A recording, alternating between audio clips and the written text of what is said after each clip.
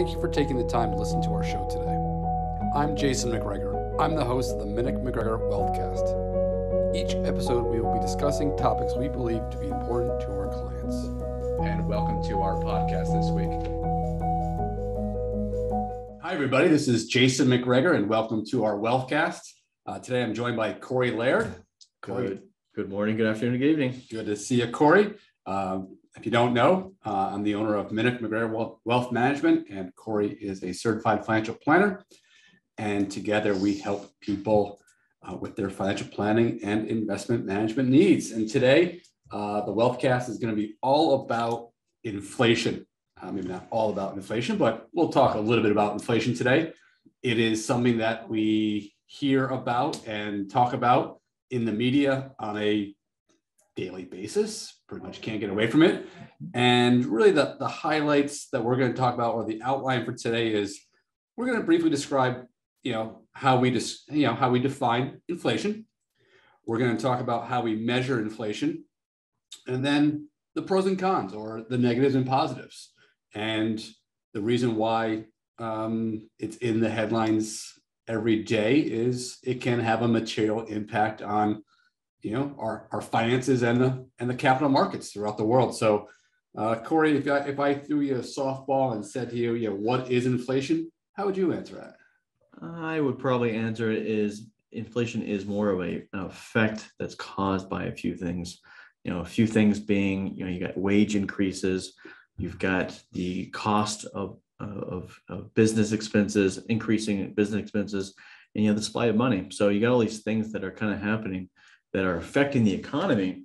And as it affects the economy, if you have more cash in your pocket or your if your business expenses is increasing, you're either passing that to the consumer or you know eating up your profit. So, okay, so, so you explained it by saying what causes it, but you know, what is it? I mean, isn't it just the price of goods and services rising?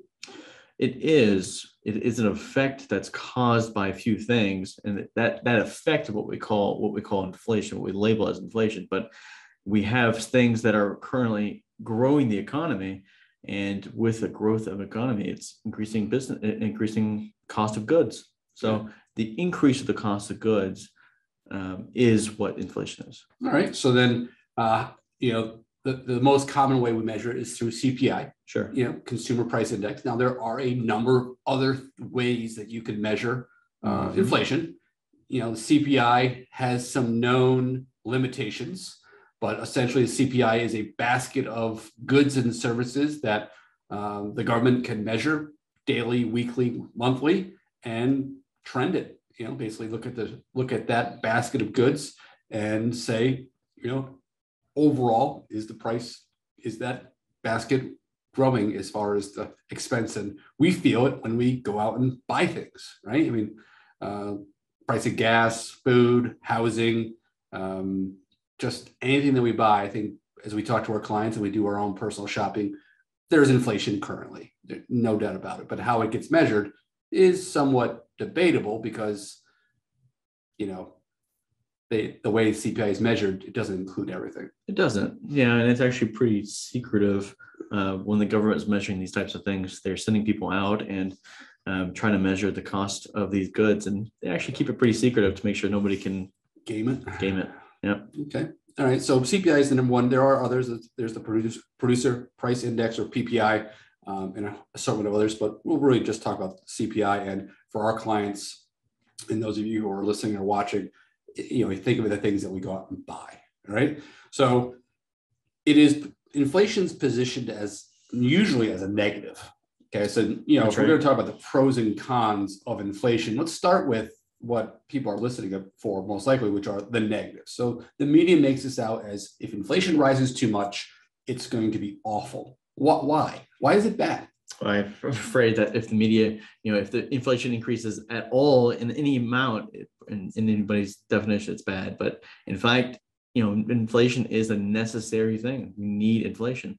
But some of the negatives of inflation, I would say if you're on a fixed income, you know, if you're on a fixed income and your pension's not increasing, your social security is being eaten up by Medicare premiums, then inflation is going to erode your lifestyle. Sure. So you definitely need to have some type of you know, some type of, you know, stock market or COLA, cost of living adjustments, type of increase in your life and your income to combat inflation. So I would say that's certainly a negative. Yeah, I mean, uh, you know, we're all old enough to remember. You think back 15, 20, 30 years ago, or you hear your parents and grandparents talk about how uh, gallon of gas used to cost, uh, you know, a dollar fifty or Sure. whatever it was, or you know, you could buy a house. Your grandparents probably bought a house for twenty five thousand dollars at the most, and it was a lot of money. And now, you know, you 10, 15, 20 times that is the going rate for the average home. And you know, in, in a traditional sense, that's inflation. I mean, it's just the price of goods and services that rise over time. And if you can't keep up with that inflation, then you lose purchasing power. That's Right. correct. So when we talk to our clients about their money in the banks right now, mm-hmm. people say, well, I'm keeping my money in the bank because it's safe. Secure. Yep, it's safe and secure, which is great. Uh, what they're referring to is principal risk. Mhm. Okay. But there's also an inflation risk. That's uh, right. Especially if you're on a fixed income. So, what is the current inflation rate? So in terms of the last month, when they report it on a monthly basis, they're annualizing it, which means they take their monthly amount and they multiply by basically 12. So the annualized last month, I believe, was 5.4%. Okay. So, that's higher than normal. Certainly. you know, historically, we use a three percent average inflation rate. I believe the feds have a target in the mid twos is try to you know keep a monetary policy, keep it there. So, what can the government do to um, keep inflation in check? Well, the main thing is going to be the interest rates. You know, that's the primary weapon that the Federal Reserve has against in- rising inflation, Mhm. uh, which has its own problems. We're not going to talk about today, but in terms of combating inflation, is to increase interest rates. So you think about all the cheap money that's out there, all the cheap mortgages and all the cheap car loans. If the interest rates are starting to increase, then maybe you do a second thought of whether you want that extra car or a second thought if you want to move and have that extra house or second house or whatever. Mhm. So it yeah, in the businesses are doing the same thing. The businesses are leveraged, they have loans and they have debt, and they're going to think twice about getting another loan to get that new factory or getting a loan to hire new people. Mhm. Because if the cost of borrowing costs are higher, they're not going to do that. And so all this spending is dropping a little bit, which means inflation is going down. Good. So, one of the other negatives from a business perspective is inflation pressure on wages. Yep. right? So if wages are being forced higher, then a business has to stay competitive and pay their employees more. Ideally. Don't get your hopes up, Cory. And yeah, um, Inflation's 15% last year, I think right, it was, right? Yeah, okay, so we'll take that in consideration.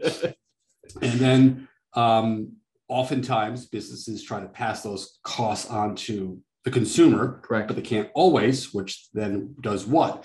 Decreases corporate profit. Mhm. Decreasing pro- corporate profit Stock Uh, market. stock market goes down. Yep. Stock market is driven by corporate profits. So if the fear is that as inflation on the wage side increases and businesses have to absorb that by reducing their profit, then the stock market could go down. Sure.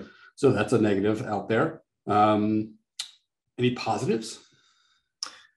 Yes, I think that the positives of inflation is is if you just get rid of inflation, we have a stagnating economy. Mhm. You need inflation to keep the engine running. Yeah, to keep the engine, the, the GDP engine running. You know, you need to have you know increasing expenses uh, on your eggs and on your gas because with increasing in, increasing expenses comes someone's salary increasing, which means that they can then spend more. When which means that you know they pass the dollar around and everybody's increasing, therefore the economy is increasing. Mhm. So in terms of inflation, the good thing about it is is that it doesn't drive the economy, but it certainly is the oil in the engine. Okay, good analogy. So we need inflation. So in by itself, by definition, uh, you know, we don't get scared by it. It's a good thing. It's a necessary thing. We don't want stagnation or deflation, which is meaning the price of goods and services are going down. Sure. Okay, that's not good for the capital markets Mhm. most times. So we want to have some inflation growth. Mhm. Too much of anything is usually a bad thing. So we got to watch that. Um, we're not going to get into today's podcast of whether or not the government will pull the appropriate lever, levers to keep inflation in check. Uh, but know that you know, there are things that investors can do, uh, people who are retired or about to retire can do to protect themselves uh, with inflation. Yeah. And that's on the investment side of things. It's on the financial planning side of things.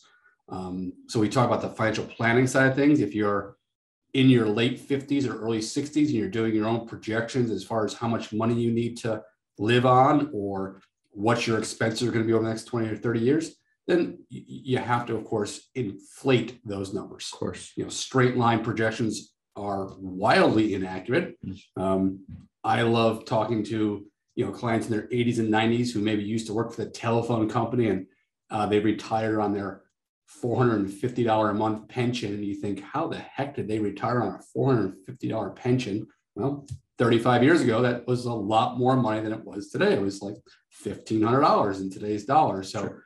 uh, you know, you have a $1,500 a month pension plus Social Security. You're like, yeah, that, that works. Now, of course, it doesn't. So, if you are doing your own financial planning or using any software, make sure you have some sort of factor. And we recommend at a minimum 3%. Mm. Um, and then on the investment side of things, um, if you're not growing your money by at least 3%, then you're losing purchasing power. That is, Yeah. a, that's a real risk. Yeah, you would certainly want to off, you know, you want to balance out the money you have in the bank for emergencies, big, big, you know, soon to be big purchases. Sure.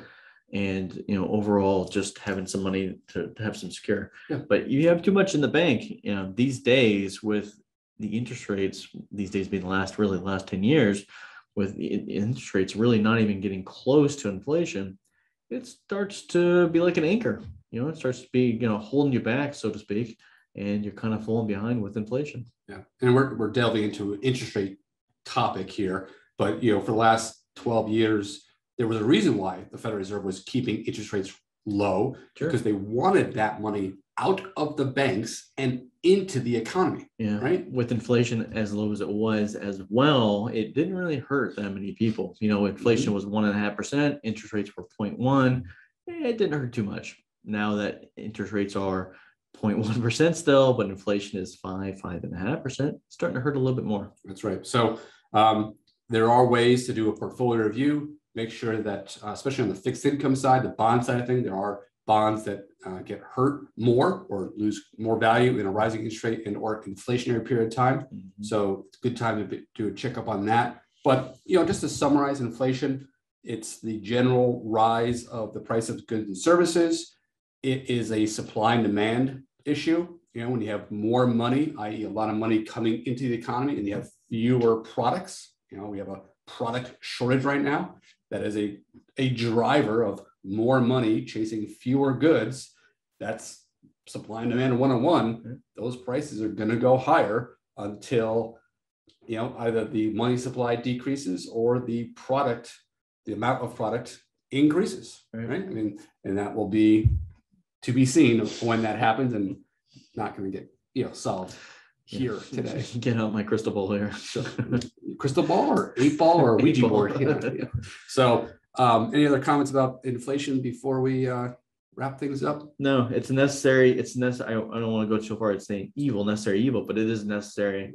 You know, it, it's our hope that two things either happen to make sure it doesn't get too high. Either the government, the Federal Reserve, you know, increases interest rates uh, at the right time to make sure it doesn't happen, or the market kind of takes care of itself and you know, you know, supply issues, you know, get solved and demand maybe decreases and it kind of solves itself out. But we're hoping those two things happen in terms of inflation. Sounds good. So as always, uh, we can be reached at 518-499-4565 if you have any questions. Our website is mmwealth.com. And if you have any questions or any feedback, love to hear from you. And uh, thanks for taking a few minutes to uh, listen and or watch us. Have a great day. Minich MacGregor Wealth Management is registered as an investment advisor with the SEC and only transacts business in states where it is properly registered or is excluded or exempted from registration requirements. SEC registration does not constitute an endorsement of the firm by the Commission, nor does it indicate that the advisor has attained a particular level of skill or ability. Information presented does not involve the rendering of personalized investment advice and should not be construed as an offer to buy or sell or a solicitation of any offer to buy or sell the securities discussed. Different types of investments involve varying degrees of risk, and there can be no assurance that any investment or strategy will be suitable or profitable for an investor's portfolio. There are no assurances that an investor's portfolio will match or outperform any particular benchmark. All investment strategies have the potential for profit or loss. Past performance may not be indicative of future results. The tax and legal information contained in this podcast is general in nature. Always consult an attorney or tax professional regarding your specific legal or tax situation.